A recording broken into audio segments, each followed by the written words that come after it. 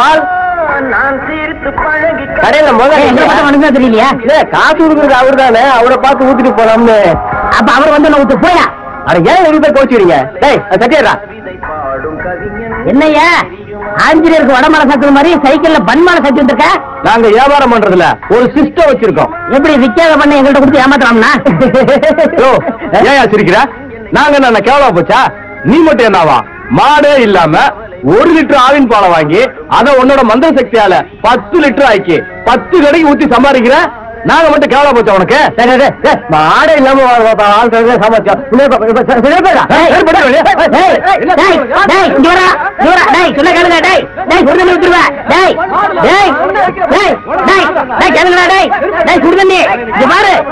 மூஞ்சி.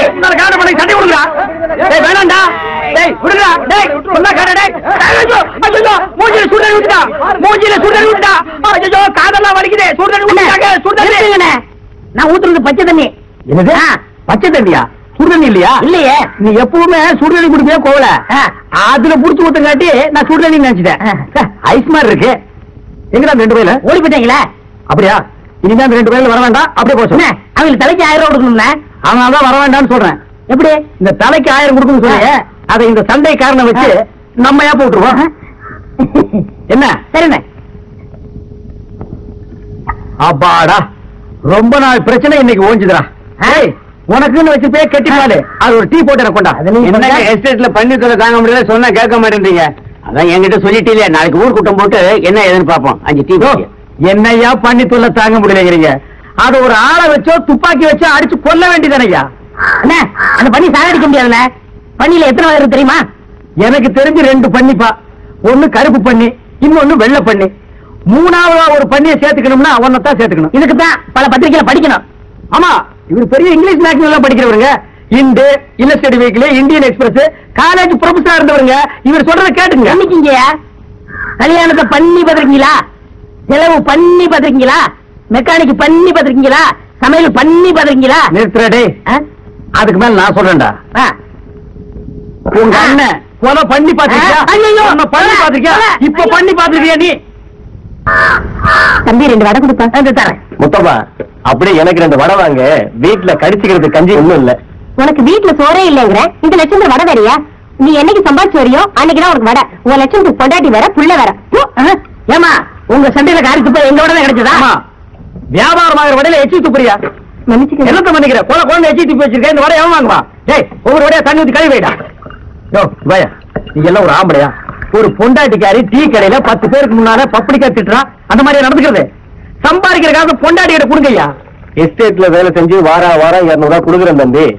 அது பத்துல இருந்து நாலு பேர் பாக்குற மாதிரி இந்த மாதிரி செய்யற ஏமா இருநூறு ரூபாய் உனக்கு பத்தலையா? இருநூறு ரூபாய் எப்படி குடும்பம் பண்ண முடியும்? ஆமா. இருநூறு ரூபாயில குடும்பம் பண்ணவே முடியாது. பொம்பளைங்களுக்கு எவ்வளவு கொடுத்தாலும் பத்தாதுமா? நீ போ. ஏய் இங்க வா. இருநூறு ரூபாய் பத்தாதுனாடா. பின்னாலேயே போ. போட்ட நீ மேல நச்சுன்னு ஒரு மிதி மிதி இதைத்தான தினமா அவன் என்ன செஞ்சுக்கிட்டு இருக்கா இன்னைக்கு நான் ஒண்ணும் மிதிக்கிறேன் தேவலாதுக்கு போடா நீ போய் அவனை பிடிச்சிட்டு வாடா. அண்ணே என்ன? அண்ணே எனக்கு நீங்க ஒரு உதவி செய்யணும். கடன் கேட்காத ஜாமீன் கூப்பிடாத மத்தது எது வேணாலும் கேடு இல்லண்ணே இது என் குடும்ப பிரச்சனை. இல்ல பிரிஞ்சதை சேர்க்கணுமா? இல்ல சேர்த்ததை பிரிக்கணுமா? யாருக்கும் தெரியாம ஒரு லெட்டர் எழுதணும்னே அப்ப இருட்டானதுக்கு அப்புறம் வா உட்காந்து எழுதுவோம். அண்ணே எனக்கு என் பொண்டாட்டி கல்யாணம் ஆகி பத்து வருஷம் ஆகுதுண்ணே. இது வரைக்கும் அவ என்ன ஒரு நாள் கூட எழுத்து பேசுறது இல்ல ஆடா பாவி பாவி. அந்த புண்ணியவதி எங்கடா இருக்கா? அவ காலை தொட்டு கும்பிடணும். விவரம் முடியாம பேசுறீங்களே அவளுக்கு லெட்டர் எழுதுறதுக்கு தான் நான் வந்திருக்கிறேன். அப்படியா? கொண்டா.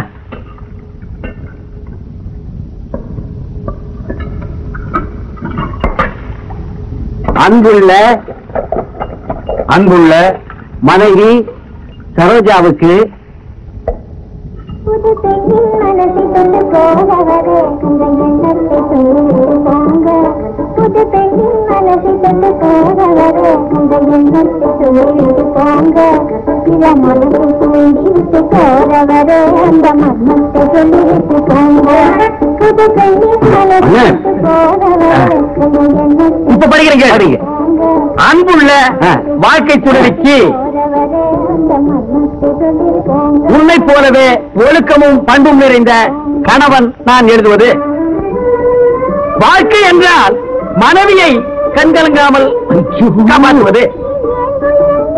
இதில் எந்த வகையிலும் நான் தவற மாட்டேன். நீ எதிரிலிருந்தும் பார்க்க முடியாமல் நான் தவிக்கிறேன். நீ கஞ்சாடை காட்டினால் புன்னகை செய்தால் அடுத்த கணமே நான் உன்னிடம் இருப்பேன். என்னையா? நான் சொல்ல வந்த விஷயம் வேற என்ன? நீ சொல்ல வந்த விஷயத்தை நான் எழுத மாட்டேன். நான் சொல்ல வந்த விஷயத்தை நீ கேளு. நீ போய் சாயந்தரம் வா, போடா. எழுதி லெட்டர் எழுத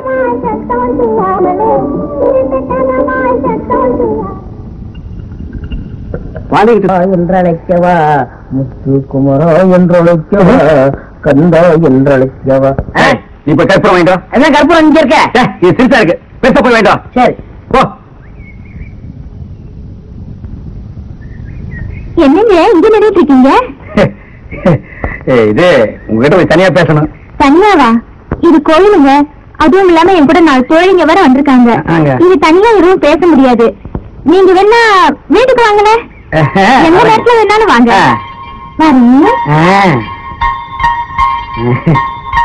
இன்னைக்கு ராத்திரியே போயிட வேண்டியதுதான். ஆஹா. அடடே நீங்களா? ஒண்ணும் இல்ல. கோயிலுக்கு வந்தேன். உங்கள்ட்ட ஒரு விஷயம் தனியா பேசணுமே. என்ன இருந்தாலும் இது கோயிலுங்க. தனியா எதுவும் பேச முடியாது. அதுவும் இல்லாம என் கூட நாலு தோழிங்க வர வந்திருக்காங்க. எப்ப வேணாலும் எந்த நேரத்துல வேணாலும் வீட்டுக்கு வந்து பேசுங்க. இது போதுங்க. போங்க இன்னைக்கு ராத்திரிக்கே போயிட வேண்டியதான் Oh!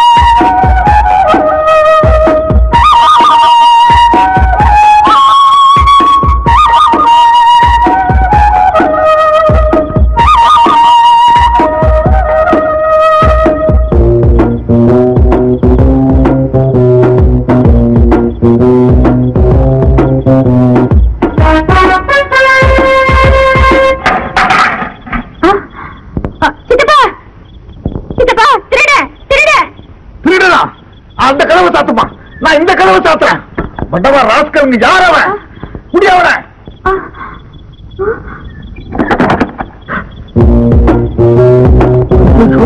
ரெண்டு பக்கம் கதவை சாத்துறாங்களே இன்னைக்கு பெருச்சாய் அடிக்க மேல அடிச்சு போடுவாங்களே இன்னைக்கு நான் தப்பிக்கிறதா பெரிய விஷயம் ஏற்கனவே கொலை பண்ணுவேன் என்னையும் கொலை பண்ணிடுவான்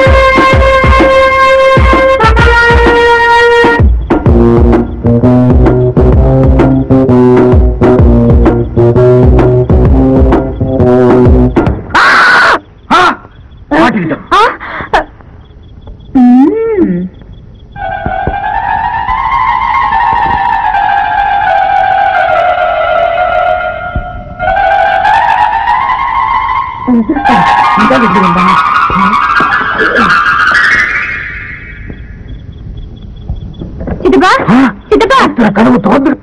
தப்பிச்சிட்டாமா? தப்பிச்சிட்டாமா? பொழுது விடியட்டும் அவன் யாருங்கிறத நான் பார்க்கிறேன். நீ அங்க படுக்காத. இங்க படு. என் கையில கத்தி இருக்குமா? ஒண்ணு அவனா இல்ல நானா? நீ தைரியமா படு. என்ன கால்ல கட்டு? அது நகைச்சுத்தி நகை சுத்தி கையில தானே வர்றோம்? கால்ல எப்படி வரும் இப்பெல்லாம் கையில வர்றது இல்ல கால்ல தான் வருது. ஆஹா. அது சரி நேத்து ராத்திரி படுக்கப்பட்டு விடிச்சிருந்து ஒன்ன காணுமே. ரெண்டாவது வாட்டி சினிமா பார்க்க போயிருந்தேன். காதல் சண்டைன்னு ஒரு படம். படமா இது. ஒரு கதாநாயகிய. ரெண்டு கதாநாயகன் காதலிக்கிறான். அதுல ஒரு கதாநாயக. இன்னொரு கதாநாயகன் கல்ல பெரிய கல்ல தூக்கி போட்டான். நேத்து ராத்திரி தான் நடந்தது. அதுக்குள்ள படமா வந்து தியேட்டர்ல ஓடிட்டு இருக்குதா? ஆமா அப்புறம் நான் எந்திரிச்சு வந்துட்டேன். வாங்க வாங்க. அண்ணன் காலை பாருங்க. அண்ணன் காலோட பெரிய எக்ஸிபிஷன் பாக்குறதுக்கு போடா கால்ல என்னப்பா? என்னங்க இது? கால்ல சிலம்பிங்க. கால்ல சிலம்பிங்க. இல்லைங்க. பூனை ஒண்ணு வந்ததுங்க. கப்புன்னு காரை கடிச்சு வச்சு ஓடி போச்சுங்க அது சரி. ஏன் தம்பி? கடையை விட்டுட்டு ரெண்டு பேரும் இங்க உட்கார்ந்து இருக்கீங்க ஆட தினம் கடையில தான் உட்கார்ந்துட்டு இருக்கேன் ஒரு வேலையை அவன் ஒரு பக்கம் போயிட்டு வந்தா நான் ஒரு பக்கம் போயிட்டு வந்தேன். மரத்து நிலம் நல்லா இருந்து உட்கார்ந்துட்டேன். ஆமா. ராத்திரினா தூங்காத மாதிரி கண்ணெல்லாம் சகப்பா இருக்கு. நைட் மட்டுமா தூங்கல? இன்னைக்கு அந்த பாலை அன்றையில இருந்து எனக்கு தூக்கமே இல்ல இன்னைக்கு ராத்திரி உன்னை நிரந்தரமா தூங்க வச்சேன். இந்த சிக்னல் தானே வேண்டாங்கிறது. எனக்கு தான் தம்பி தூக்கம் வரல. எதுக்கு? இந்த பொண்ணை ஒருத்தகிட்ட புடிச்சு கொடுக்கற வரைக்கும் எப்படி தூங்க முடியும்? நேற்று ராத்திரி எவனோ எந்த நோக்கத்தோடய வீட்டுக்கு வந்தா ஆனா தப்பிச்சுக்கிட்டான் ஆனா ஒண்ணு தம்பி அந்த பையன் ஆன்னு ஒரு குரல் கொடுத்தான். அந்த குரலை நான் மறுபடியும் கேட்டேன். தீர்த்து கட்டு தீர்த்து அப்படியே அந்த குரல் ஆளு சத்த கிடைச்சா? ஆமா. என்ன ஊன்ட்டீங்க? பின்ன ஆண் நான் சொல்லுவேன். டேய் நானே நூற்றுல அடிக்கிறவன். நீ என்கிட்டயே டகாட்டி காட்டுறியா? போட போட. டேய் எடுத்துட்டு போட. ஐயா நீங்க மொழி வச்சுட்டு வாங்க. சரி நீ வாமா நம்ம கல்யாணத்துக்கு போவோம். ஹாய் ஹாய் டேய் கரையை ஒழுங்கா பாத்துக்க நான் வெளியே போயிட்டு வரேன். ஏமாற்றாதே ஏமாற்றாதே. ஏமாறாதே ஏமாறாதே. என்ன சிக்னல்? ஒண்ணு இல்லைங்க என்ன சொல்ற? ஒண்ணு இல்ல அதாவது நம்ம நாளா டீ அடிச்சுக்கிட்டு இருக்கிற அதனால முதலாளிக்கு நல்லா சம்பாரிச்சு கொடு. ரெண்ட பேரு முதலாளி கிட்ட உன்னை பத்தி சொல்லி மோதலை உண்டாக்கி சிக்கலாக்கி விட்டுருவாங்க.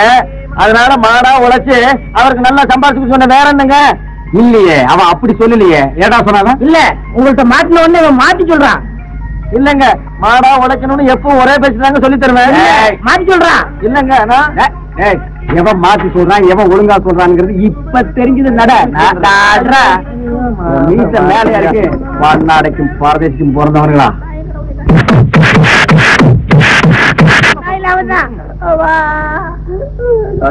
பட்டை உடைச்சிட்டாரு. அண்ணே என்னப்பா அந்த எதிர் வீட்டுக்காரர்ல? அதான் அந்த பதினாலு வருஷம். அவசியம் உங்களை தனியா வர சொன்னாரு. மாட்டிக்கிட்டீங்களா நான் வரேன். ஏண்டா? என்ன எதுக்குடா அவன் தனியா வர சொல்லியிருக்கான்? ஆ, அன்னைக்கு ராத்திரி எவனோ ஒரு திருட உள்ள புதுசானா ஏதாவது துப்பு கிடைக்குமான்னு உங்களை வர சொல்லிருக்காரு நான் என்ன துப்பு கிடைக்கிறதுக்கு நான் என்ன துப்பு அதுக்கே இப்படி நடுக்கிறீங்க? நான் ஏன் நடுக்கிறேன்? நான் மிலிட்டரி பரம்பரை. எனக்கு போங்க. எனக்கு என்ன பயம்? நான் யா யாருக்கு நான் பயப்படணும்? வாங்க தம்பி. உங்ககிட்ட ஒரு முக்கியமான சமாச்சாரம் பேசணும். ஆமா நீங்க ஏன் இன்னும் கல்யாணம் பண்ணிக்கல? பெரியவரே அந்த கத்தியை கொஞ்சம் அந்த பக்கம் திருப்புங்க. அது நக்கி ஆடே செத்து போயிருக்குன்னு சொல்லியிருக்கீங்க. எனக்கு பயமா இருக்கு. அது வந்து கல்யாணம்ங்க. எனக்கு சரியான பொண்ணு அமையலைங்க. இது இருந்தா அது இல்ல அது இருந்தா இது இல்ல அப்படியே நான் காலத்தை கழிச்சிட்டேங்க. உங்களுக்கு ஒத்து போற மாதிரி எல்லா வகையிலையும் குடும்ப பொண்ணா இருந்தா நீங்க கல்யாணம் பண்ணுவீங்களா? ஓ இப்பவே நான் தாலி கட்ட தயாரா இருக்கிறேன். ஆனா பொண்ணு யாருங்க மாமா? அத என் வாயால சொல்லணுமா? ஏன் உங்களுக்கு வாய் வலிக்குதுன்னா வேற ஆளை விட்டு சொல்ல சொல்லுங்க. என் அண்ணன் பொண்ணுதான் ஒரு நாணயமான மாமாவா நீங்க இருப்பீங்கன்னு நான் எதிர்பார்க்கவே இல்ல மாமா. அப்போ நாம எல்லாரும் இன்னைக்கு ஊருக்கு போறோம் பொண்ணோட அப்பா அம்மாவை பாக்குறோம் கல்யாணத்தை முடிக்கிறோம் நேரா ஊருக்கு வர்றோம். மாப்பிள நீங்க முன்னாடி கடைக்கு போங்க நாங்க ரெண்டு பேரும் பின்னாடி வர்றோம். மாப்பிள சொல்லிட்டு போறேங்க மாமா. போகலையா? இதுதான் எனக்கு பிடிக்காத விஷயம். இந்த சுரண்ட விஷயம் பாக்குற விஷயம் கேக்குற விஷயம். என்னம்மா குத்துநெல்லு மாதிரி நின்னுகிட்டு இருக்கிற பாவட தாவணியோட உள்ள போய் புடவை கட்டிட்டு வாமா இவன் வேற. சரிப்பா. டேய் காசா கரெக்டா வாங்கிக்க. பொண்ணோட ஏதோ தொடர்பு இருக்குது. டேய் இங்க விடுறா. என்ன இல்ல தெரியும் வரைய நூலா வருது. நமக்கு கல்யாணம் நடக்கிறது காரணமே கருத்த பண்ணிட்டாங்க அப்படி. டேய்? எனக்கு தெரியாமல எனக்கு ஒரு நல்ல வாழ்க்கை அமைச்சு கொடுத்தது காரணமே நீ தான்டா சுத்தி வச்சு பேசாதீங்க. ஏன்டா சுத்தி வளைச்சு பேசுறதுக்கு என்ன மூஞ்சி குச்சியா? விவரம் சொல்லுங்க. சரி நான் உன்னை அடிச்சிருக்கேன் மிதிச்சிருக்கிறேன். பத்து பேருக்கு முன்னால கேவலமா திட்டி இருக்கிறேன் அத்தனையும் மறந்து இப்படி ஒரு காரியத்தை செஞ்சிருக்கிறியே. உனக்கு நான் என்னடா கைமாறு செய்ய போறேன்? புரியலையே. அத நான் சொல்றேன். எங்க நீங்க எனக்கு ஒரு உதவி பண்ணணுமே. இங்கேயே அவனை தூக்கி போட்டு உதைக்கலாம் அட அது இல்லைங்க. அவர் பேருக்கே அந்த கடையை எழுதி வச்சுட்டு நாம ஊருக்கு போயிடலாம். ஏன்னா உங்களை பத்தி உயர்வா சொன்னது அவர்தானே? என்ன பத்தி உயர்வா சொன்னா? ஆமாங்க. என்ன சொன்னா? நீங்க ரொம்ப நல்லவரா. எந்தவித கெட்ட பழக்கமும் இல்லையா அவங்க கிட்ட அப்படி இப்படின்னு நிறைய சொன்னாருங்க. உங்க மேல ஆசை வர அளவுக்கு ரொம்ப உயர்வா சொன்னாருங்க. ஆமா என்ன பத்தி சொன்னது இருக்கட்டும். அவனை பத்தி என்ன சொன்னான் அவருக்கு இந்த குடி பழக்கம் சிகரெட்டு இந்த சீட்டு பழக்கம் அப்படி இப்படின்னு ஏதேதோ கெட்ட பழக்கம் இருக்காங்க. அவரை பத்தி ரொம்ப தாழ்மையா சொன்னாரு. கரெக்டா சொல்லியிருக்கான். குடி எடுக்கிறவன் கோல் மூட்டுறது அடுத்தவன் குடும்பத்தை கரைச்சு விடுறது தூங்குறவன் தலையில தீய வைக்கிறது இன்னொருத்தன் சாவல நான் தான் கொள்ளி வைப்பேன் அடம் பிடிச்சு அந்த சொத்து கலையிறது கம்முநாட்டுக்கு எல்லா கெட்ட பழக்கம் இருக்கு. சரி அதை விடுங்க. நான் அவர்கிட்ட கொஞ்சம் ஆசீர்வாதம் வாங்கிக்கிறேன். இவ்வளவும் சொன்னதுக்கு அப்புறம் அவங்ககிட்ட ஆசீர்வாதம் வாங்குறியா? போய் வாங்கி பரவாயில்ல மாப்பிள்ள நீ போமா மஞ்சள் குங்குமத்தோட நல்லா இருமா. அந்த மஞ்சளும் குங்குமம் இல்லைன்னா நாங்க நல்லா இருக்க மாட்டோமா? அது என்ன ஐநா சபையில் கிடைக்கிற பொருளா? இந்தியாவிலேயே கிடைக்காதா? என்ன? எல்லா கல்யாணத்திலும் இதையே சொல்லி அறுக்கிறானுங்க ஐயா மஞ்சள் வாங்கிக்க குங்குமம் வாங்கிக்க சரி விடுங்க மாப்பிள்ள. என்ன? என்ன விடுறது? மஞ்சள் குங்குமங்கிறது என்ன? பத்து ஏக்கர் நிலமும் பம்பு செட்டுமா? இல்ல ரைஸ் மில்லா இல்ல நூல் மில்லா அதை வச்சு பொண்ணு மாப்பிளை வாழ்ந்துட முடியுமா? யோ மஞ்சள்ங்கிறது என்ன? சாம்பாருக்கு போடுறது. குங்குமங்கிற ஒரு கெமிக்கல் அது நெத்தியில வச்சா புண்ணாகிடுமியா அது சரி நான் கூட வச்சிருக்கிறேனே. என்னத்துக்கு நீ அதை வச்சிருக்க? அழிச்சிரு. சரி ரெண்டு பேரும் நல்லா இருக்கு. ஏய், என்ன குறை மாதிரி சொல்ற? நல்லா சொல்றான் நல்லா இருக்கு அறிவு சொல்றான் அமைதியில் வாழ மங்கள் வளத்துடன் வாழ உன் மங்கள குங்குமம்